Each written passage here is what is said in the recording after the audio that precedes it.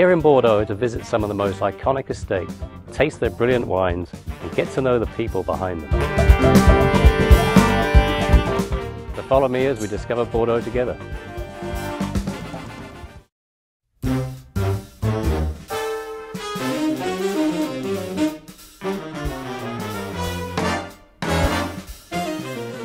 So the, the owner of Chateau Lafite Rothschild is the Rothschild family, of course. Now, we are very lucky to be part of uh, one part of the Rothschild family, today led by Saskia de Rothschild, the sixth generation of the family. Saskia became the chairwoman in 2018, taking over from Baron Eric de Rothschild.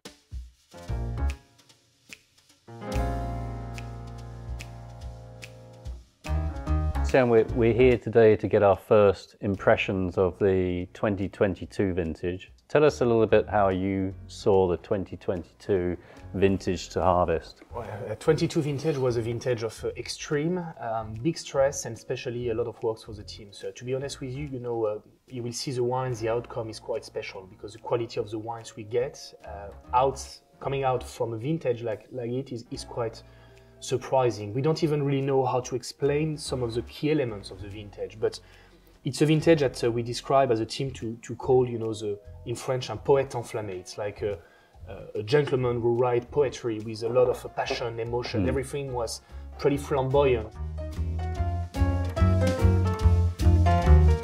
So as a, as a first growth in uh, a vintage which is already getting a lot of attention, I mean, people are talking about 2022 as an iconic vintage already.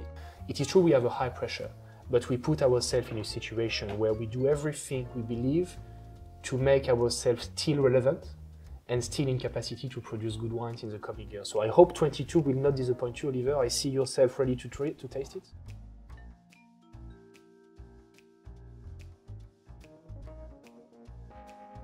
So clearly you put a lot of effort in every year to try to manage the, the expectations of customers and get the best results for you. But it sounds like you've got something like a 20, 30 year plan on how to improve things at Lafite.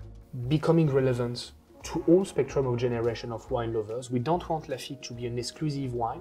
We want Lafite to be an inclusive wine. We believe that our wine should be open in different formats around the world to different audience, to new different generations. So thanks very much for your time. Thank you for welcoming us to the Rothschild Chateau and cheers to you.